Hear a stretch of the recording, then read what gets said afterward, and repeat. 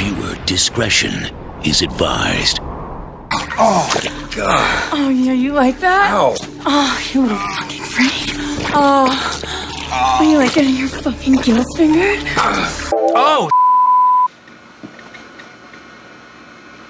I'm okay. The Boys is one of the most disturbing pieces of crap that I have ever seen, and I can't believe someone decided it should be allowed to even be put on TV, but whoever they are, I fucking love you.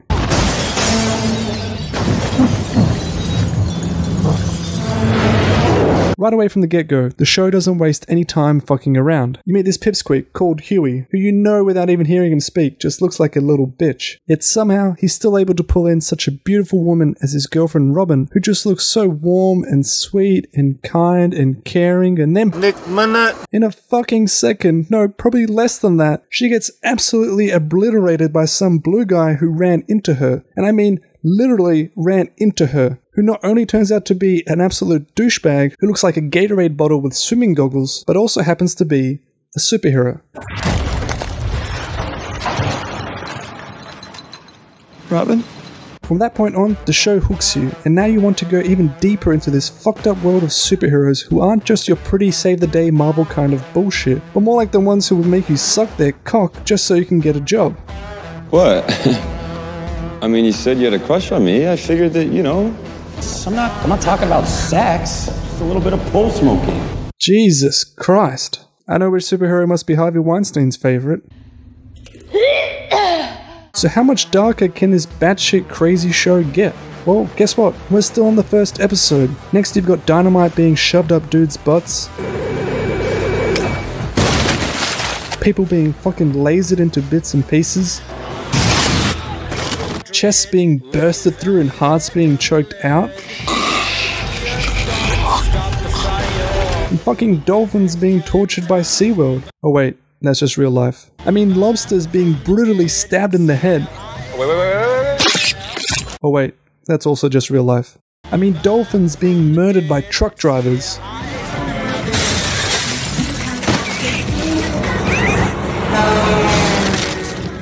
Yeah, now that's some messed up shit. But that's not even the worst of it. This, this fucking plane scene is by far one of the most fucked up moments from the show. Yet at the same time, it's somehow also one of the funniest. You gotta go out there, lift the plane up. Lift the plane? How? There's nothing to stand on. It's fucking air. I don't know, fly at it, ram it straight. That kind of speed, either the plane goes ass over tit or I'll punch straight through the hull. You're watching this horrible piece of shit Superman asshole go from wanting to save people to joking about how he can't save them to straight up threatening them to fuck off because he doesn't want to save them. You stay the fuck back or I'll laser you, goddammit! I'll laser every fucking one of you! I mean, holy shit. To be fair, maybe those were the same people who were talking smack about Man of Steel.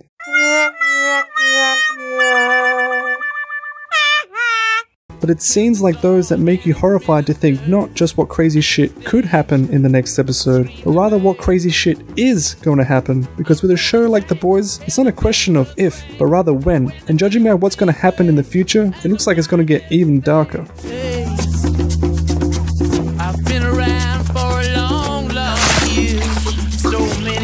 Oh my god, he holds the fucking cup as the blood spills down.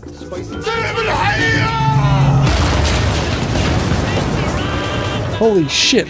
Who would have thought a show about horrible corporate America, made by horrible corporate America, could actually be good? In a world that feels completely saturated with superheroes, The Boys completely goes against the grain, and I'm not talking about just through some anti hero like Deadpool, I'm talking about making superheroes that are just straight up anti people. Alright! You fucking cocksuckers. Even the desaturated look of the show, which is devoid of any bright colors, almost feels like it's hinting at how this world is filled with supervillains, rather than superheroes, with human beings that are dark, disturbed assholes who are simply given superhero gifts, but which doesn't change the fact that they are still dark, disturbed assholes. When it gets to a point where you're genuinely thinking that this diabolical Superman motherfucker could actually and would relish the opportunity to laser beam this baby that he's holding, that's how you know you've completely redefined the superhero genre. You are dark. And I kind of like it. when you can create a show that has so many dark moments and crazy, horrible characters with just the right amount of warmth and comedic elements to balance it out, and which makes you actually give a shit about finding out what happens next and being even more excited to see just how far they can take it and what more crazy, blood, murderous shit they can do because now you've become both desensitized to the violence but also long for more and have a long, deep taste for it. That's how you know, and I mean really, really know that you might actually be a sociopath. Like I tell you what, you get better and I'll teach you to run as fast as me. Yeah? Yeah? You'll teach me to outrun cancer? calling through the faraway towns. Now war is declared and battle come down. London calling to the Get ready, sir. You're going in.